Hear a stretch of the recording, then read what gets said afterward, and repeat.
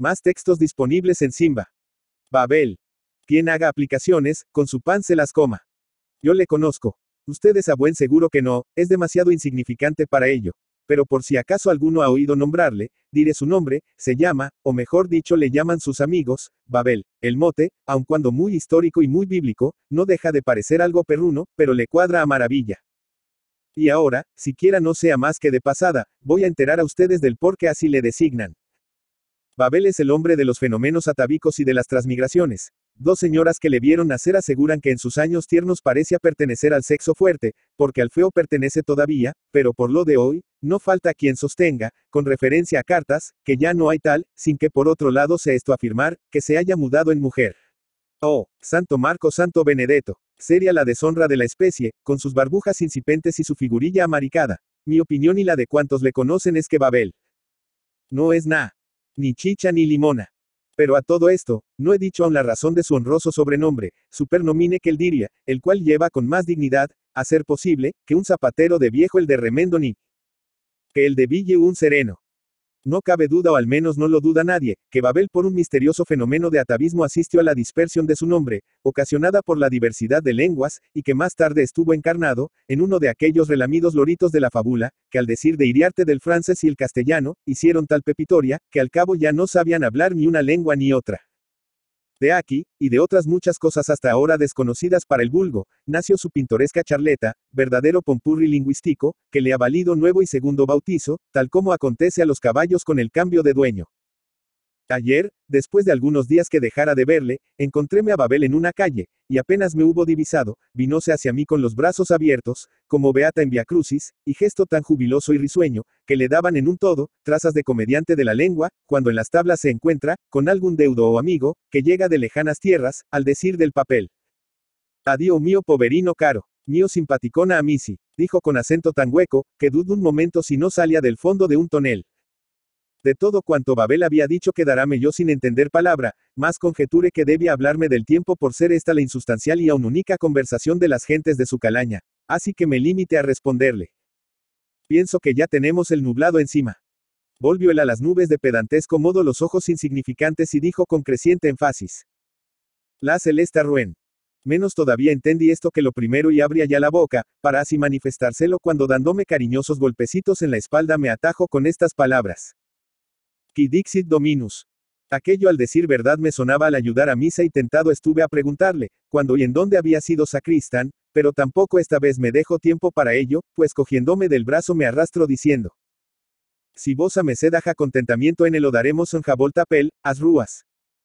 Santo Dios, no me había equivocado al decir que el nublado estaba encima. La calle que seguíamos era estrecha y en extremo tortuosa, en una de las revueltas paróse en firme Babel y extendiendo una mano mientras a mí me tenía sido la otra, murmuró con pavoroso acento.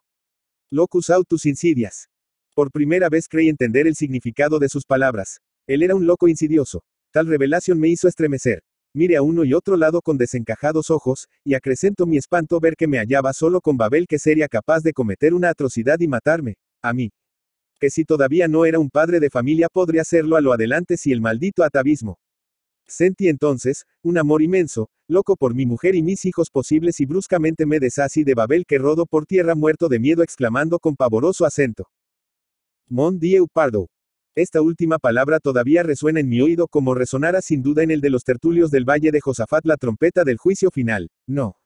Maldita palabra, que me persigue como un remordimiento sin dejarme nunca, de tal suerte que no puedo dejar de escribirla al terminar este artículo. Perdón, Publicado en Café con Gotas, el 11 de noviembre de 1888. Ramón María del Valle, Inclán. Ramón Valle y Peña, Villanueva de Arosa, 28 de octubre de 1866, Santiago de Compostela, 5 de enero de 1936, también conocido como Ramón del Valle, Inclán o Ramón María del Valle, Inclán, fue un dramaturgo, poeta y novelista español, que formó parte de la corriente literaria denominada modernismo en España y se encuentra próximo, en sus últimas obras, a la denominada generación del 98. Se le considera uno de los autores clave de la literatura española del siglo XX. Novelista, poeta y autor dramático español, además de cuentista, ensayista y periodista. Destacó en todos los géneros que cultivó y fue un modernista de primera hora que satirizó amargamente la sociedad española de su época. Nació en Villanueva de Arosa, Pontevedra, y estudió Derecho en Santiago de Compostela, pero interrumpió sus estudios para viajar a México, donde trabajó de periodista en el Correo Español y el Universal. A su regreso a Madrid llevó una vida literaria, adoptando una imagen que parece encarnar algunos de sus personajes. Actor de sí mismo, profesa un auténtico culto a la literatura, por la que sacrificó todo, llevando una vida bohemia de la que corrieron muchas anécdotas. Perdió un brazo durante una pelea. En 1916 visitó el frente francés de la Primera Guerra Mundial, y en 1922 volvió a viajar a México. Por su vinculación con el carlismo en 1923 fue nombrado caballero de la Orden de la Legitimidad proscrita por Jaime de Borbón y Borbón, Parma. Respecto a su nombre público y literario, Ramón del Valle, Inclán es el que aparece en la mayoría de las publicaciones de sus obras, así como en los nombramientos y ceses de los cargos administrativos institucionales que tuvo en su vida. El nombre de Ramón José Simón Valle Peña solo aparece en los documentos de la partida de bautismo y del acta de matrimonio.